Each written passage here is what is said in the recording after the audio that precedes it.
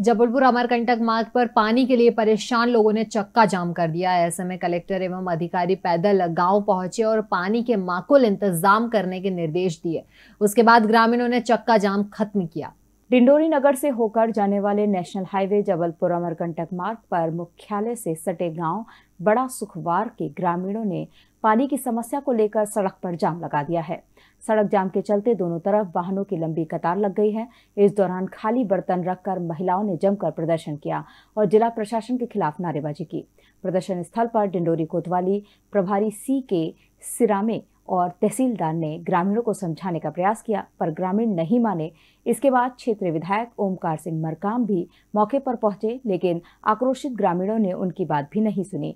इसी के चलते कलेक्टर विकास मिश्रा को ग्रामीणों के बीच उनकी समस्या को जानने, जाना पड़ा और ग्रामीणों से चर्चा कर उन्हें आश्वासन दिया कि तत्काल पानी परिवहन कर गाँव में पहुँचाया जाएगा। इसके बाद कलेक्टर ने प्रदर्शन कर रही महिलाओं से गाँव चलकर समस्या दिखाने की बात कही, जिसके बाद प्रदर्शनकारी जिला प्रशासन के साथ गाँव की तरफ़ चले गए और सड़क जाम खुल पाया। मध्य प्रदेश की महिलाओं के आर्थिक सशक्तिकरण के उद्देश्य से संवेदनशील मुख्यमंत्री शिवराज सिंह चौहान द्वारा मुख्यमंत्री लाडली बहना योजना का उपहार सभी पात्र महिलाओं को दिया गया है।